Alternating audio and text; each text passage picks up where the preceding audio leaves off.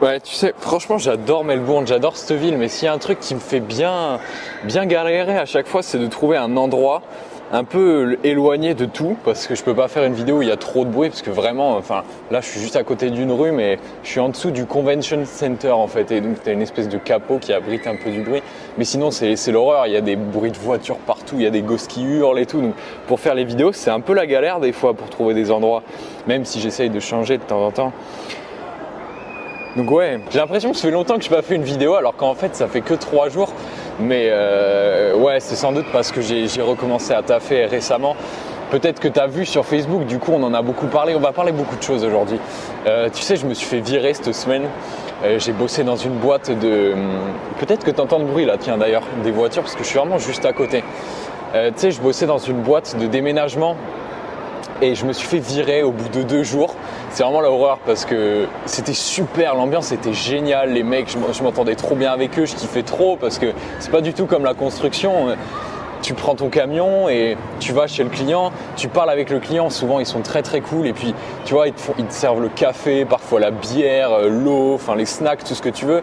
Et puis après, une fois que tu as chargé le camion, hop, tu as ta pause comme ça sur la route, tu as une pause déjeuner et tout, pas comme dans la construction où tu pètes des cailloux euh, au marteau piqueur et c'est tout ce que tu fais de ta vie quoi. Donc c'est beaucoup plus enrichissant. Mais du coup, je me suis fait virer.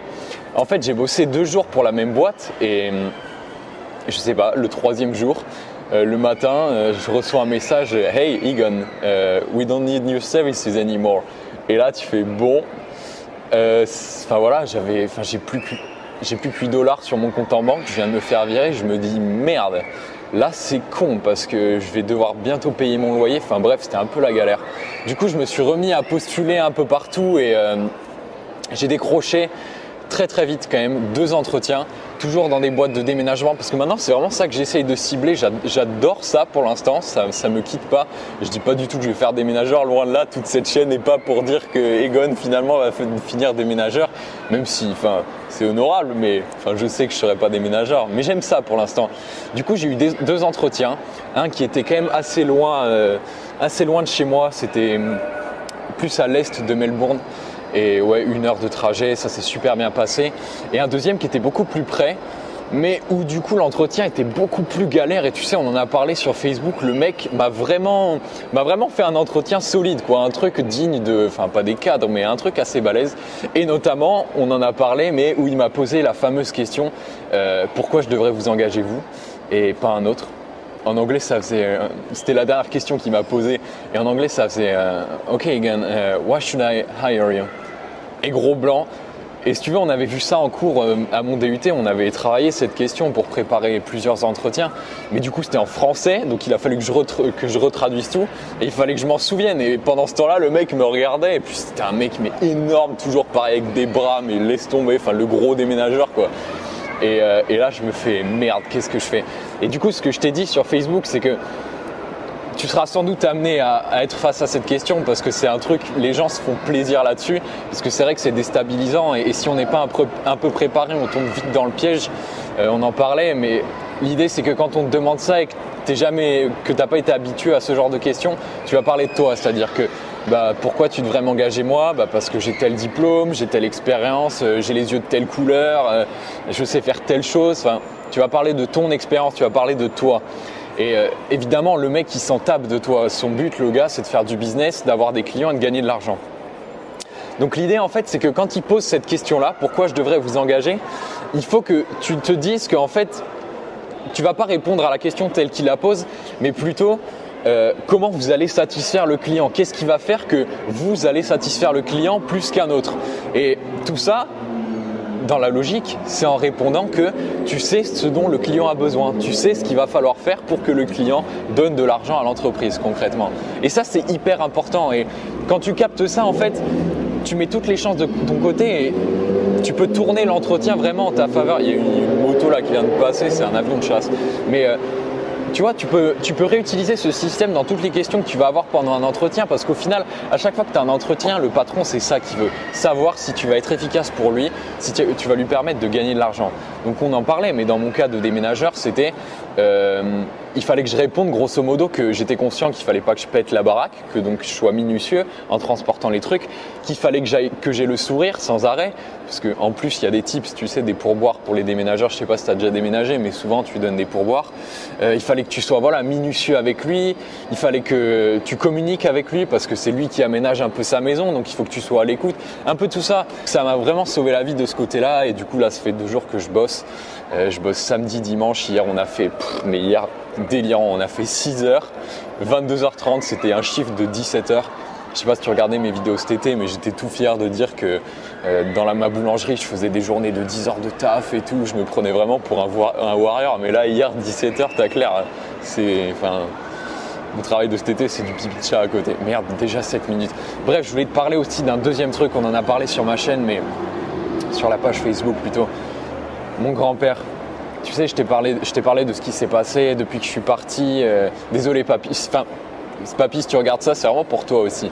Depuis que je suis parti, il est allé chez un, chez un docteur, je connais pas trop l'histoire. Et, et, ce mec lui a dit euh, Monsieur, vous êtes plus apte à conduire, vous avez 80 ans, il faudrait peut-être se calmer. Et à cause de ça, mon papy, il est pas bien et il fait une dépression. Enfin, pas une dépression, mais apparemment, il a vraiment perdu un peu de, je sais pas, de, son énergie. Et. Euh, maintenant il prend, des médocs apparemment, euh, des, espèces de trucs pour sa tension et je sais pas quoi. Et moi ça m'a mis hors de moi pour, plusieurs choses, mais moi je suis persuadé que ce qu'il fout en l'air c'est, enfin concrètement, depuis qu'il prend ces médocs là, il est dans le mal, tu vois.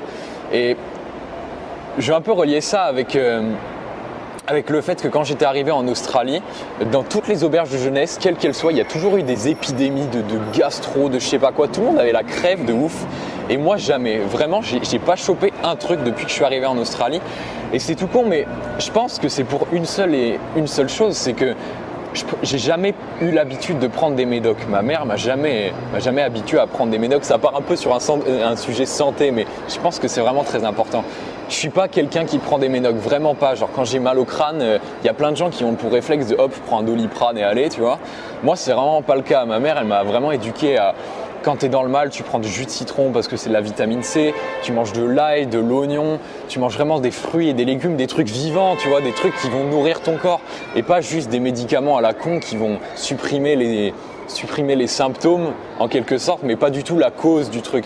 Et moi, je suis persuadé que, enfin, je remarque, je peux pas m'empêcher de remarquer que notre génération, enfin notre génération, mais les gens aujourd'hui prennent vraiment les choses comme ça hyper facilement. C'est-à-dire que, on, s'égare complètement, mais j'ai jamais pris de médoc et je suis le, mec qui a été le, moins malade de, dans tous les endroits où je suis toujours allé. J'ai vraiment jamais, jamais, jamais eu la même, la même dose de maladie, de gastro ou quoi. Je suis toujours passé à côté.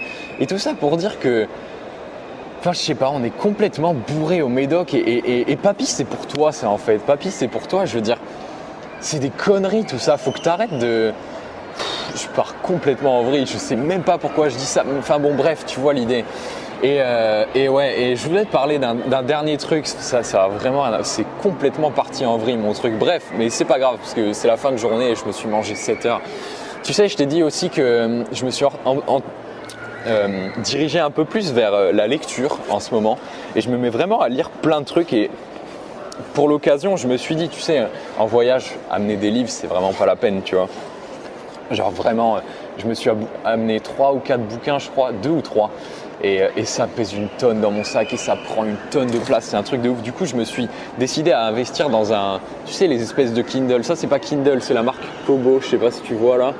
Et ouais, c'est génial parce que tous les livres sont beaucoup moins chers. Tu sais, en gros, tu, vas sur Internet, tu vas sur le site de, la marque du truc et tu as je sais pas combien de milliards de livres qui sont référencés, tu achètes le tien et souvent il est beaucoup moins cher qu'en couverture, enfin en format papier. Et euh, je me suis acheté euh, un livre qui s'appelle 100 dollars startup. C'est d'ailleurs pour ça que je me suis acheté le truc, c'est que ce livre en question existait que format électronique. Du coup, je me suis dit, allez, c'est le moment d'investir. Et du coup, je me mets vraiment un peu dans à lire de l'entrepreneuriat parce que bon, on va pas passer par quatre chemins. Cette chaîne, concrètement, ça. Enfin, j'arrête pas de te parler de vivre de sa passion, faire ce que tu veux faire. Le mot aujourd'hui, enfin le terme qui se rapproche le plus de ça, c'est l'entrepreneuriat. Et c'est un mot affreux. Franchement, je déteste ce mot. Je suis premier à, le vomir parce que pour moi, euh, quand on me dit entrepreneuriat, c'est la montagne de taf et, les montagnes d'heures que tu dois passer et que tu dois être un warrior, que tu dois être né avec des, des dons et tout. Mais ce livre-là, je te le recommande si ça t'intéresse pas du tout. Je viens de lâcher un postillon de ouf.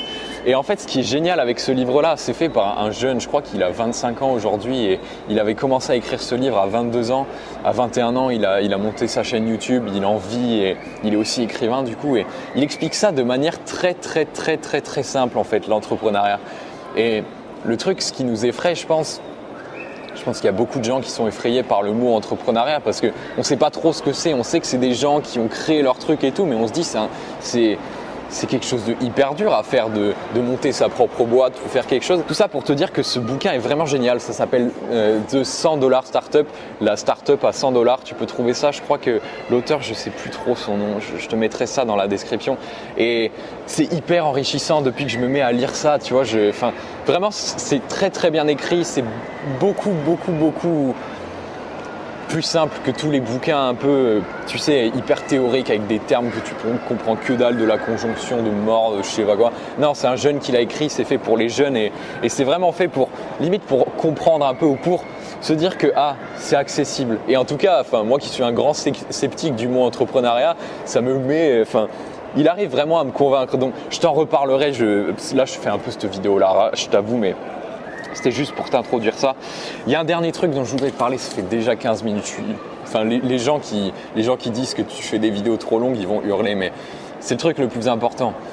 Tu sais, je reçois beaucoup de mails, d'ailleurs merci beaucoup parce qu'en ce moment je reçois beaucoup de mails d'encouragement qui disent que voilà ce que je fais c'est génial et que les gens s'y retrouvent. J'ai beaucoup de questions aussi de gens qui viennent en Australie. Il y a même un mec qui vient en Australie, je, ne euh, sais plus, mais il y a quelqu'un qui m'a contacté qui arrive en Australie en janvier à Sydney. J'aimerais bien, bien te rencontrer si tu regardes cette vidéo. On, verra, on, communiquera, bref. Et euh, je suis conscient que j'ai beaucoup parlé de l'Australie avant de partir à Agen et que j'ai peut-être vendu un peu du rêve. Et du coup, on s'attend beaucoup à voir des paysages dans mes vidéos, des trucs que je découvre et tout, mais disons que je suis pas venu pour ça. Enfin, il y a deux choses. Je suis pas venu pour ça et c'est pas ça la réalité. C'est-à-dire que d'un côté, je suis pas venu pour ça, je suis pas venu pour voir des paysages de ouf. Alors bien sûr, si je peux le faire, j'adore, tu vois, voir des, choses magnifiques et dès que je peux, je les filme. Mais je veux dire, c'est pas la raison première pour laquelle je suis venu vraiment. Je suis venu pour avoir des réponses, pour grandir, pour me poser un peu toutes ces questions. Il y a des gens qui me prennent pour un taré en voyant que je me pose toutes ces questions, mais moi j'adore ça et je suis venu pour ça. Et d'un autre côté, c'est pas ça la vie, c'est que concrètement là je suis sur Melbourne, tu vois, je te disais, j'ai plus que 8 dollars sur mon compte en banque, donc c'est un peu la merde.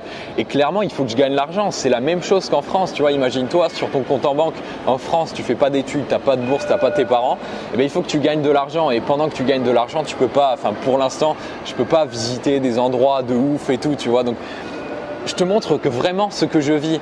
Et d'un autre côté, il y a aussi le fait que j'aime te partager autant de choses, tu vois, et que j'ai envie de faire beaucoup plus de vidéos. Enfin, en ce moment, c'est ce que je fais.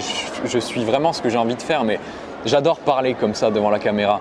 Et euh, je suis vraiment désolé pour tous les gens qui pensent que, que je vais montrer euh, des images magnifiques de l'Australie, des super plans, des, des, des, ouais, des, des spots légendaires que, dont tout le monde entend parler à l'autre bout du monde concernant l'Australie. Mais je suis pas venu pour ça et, et Ouais, c'est pas pour ça que je fais ces vidéos-là. Je voulais juste le dire parce que c'est important pour moi. 17 minutes, je vais m'arrêter là direct. Euh, merci si tu as regardé cette vidéo jusqu'au bout. Moi, je te dis à la prochaine. On va reparler de cette histoire de la startup. Tu peux aussi me suivre sur la page Facebook. Je te mets le lien en bas parce que je mets beaucoup de choses en ce moment. Vu que je bosse, je m'exprime un peu plus là-dessus parce que faire des vidéos, ça prend du temps et en ce moment, je ne l'ai pas forcément. Bref, merci d'avoir tout regardé. Je te laisse et je te dis à la prochaine. Ciao ça va être une galère à monter ce truc, je te dis même pas. Franchement, GG si t'as regardé à la fin. Mets un pouce bleu si t'as regardé à la fin, juste pour que j'ai une idée. Ciao